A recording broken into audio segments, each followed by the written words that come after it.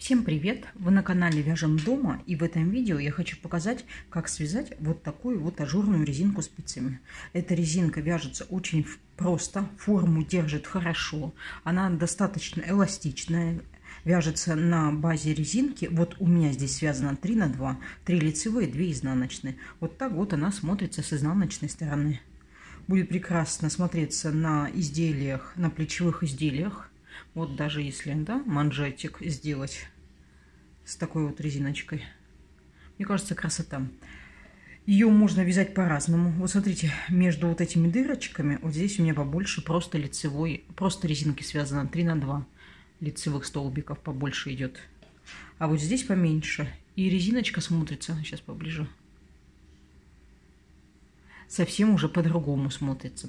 Она подойдет и как самостоятельный узор, и как резинка для любых изделий. Также я видела, что вот таким вот образом связана шапочка. То есть сначала, вот как у меня здесь идет эта резинка, то есть, ну, не столько побольше идет, вот примерно 7 сантиметров.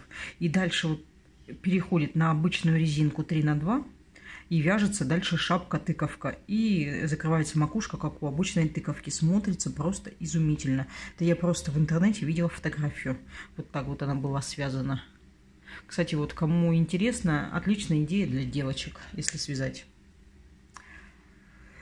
Также вы можете вот это место регулировать. Также можете ее вязать там три лицевых, одна изнаночная. Можете три лицевых, три изнаночных. Это все на ваше усмотрение. Если вязать вот так, идут три лицевых и между ними две изнаночных, то для этого вам нужно набрать количество петель кратное 5, плюс 2 петельки для симметрии, плюс 2 кромочные. Вот они начинаются с двух изнаночных.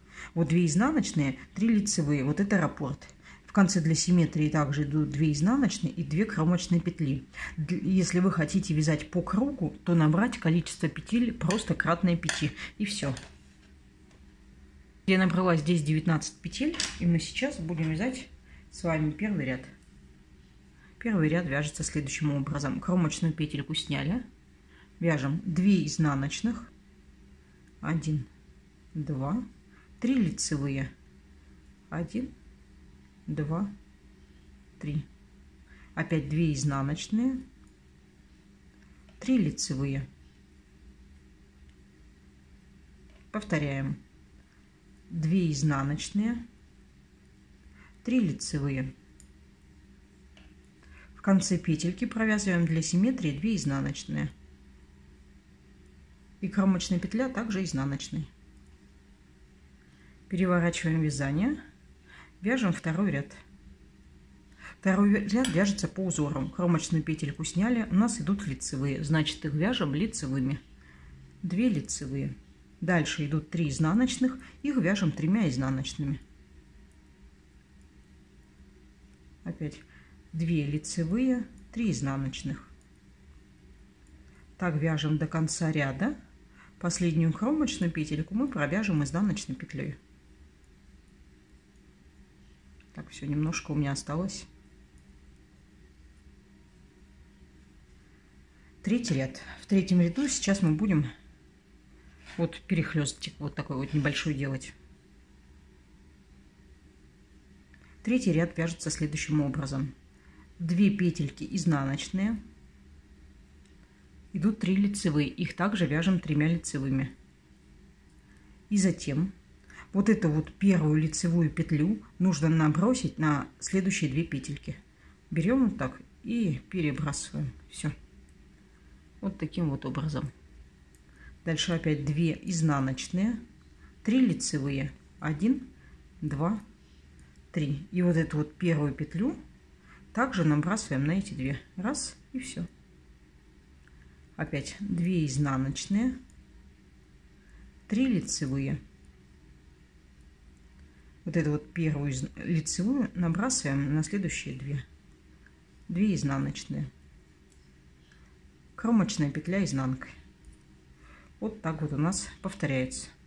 Получилось, что в каждой лицевой дорожке мы сократили петельку. Сейчас мы ее прибавим при помощи накида в следующем ряду. Это у нас получается четвертый ряд. Кромочную петельку снимаем. 2 лицевые. Теперь смотрите, у нас идут вот эти две петельки. Мы вяжем 1 изнаночная, накид, 1 изнаночная. Все, у нас их опять 3 стало.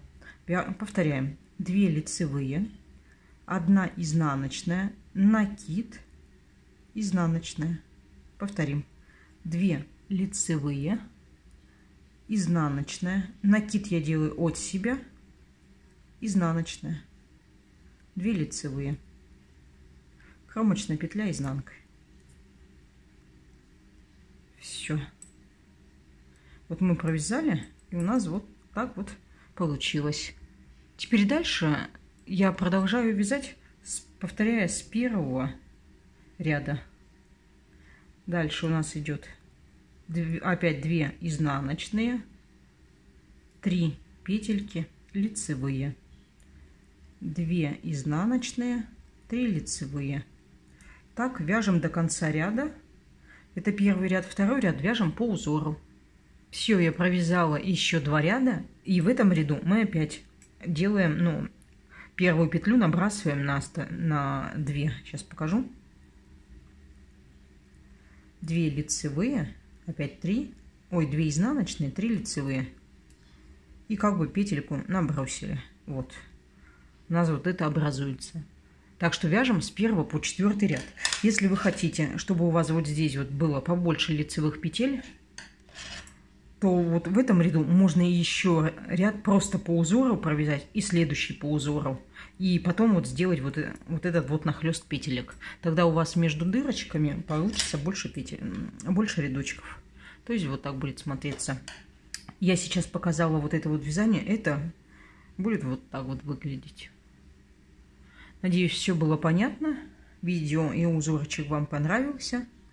Не забывайте подписываться на канал. Если есть какие-то вопросы, задавайте их в комментариях. Постараюсь всем ответить. Всем пока!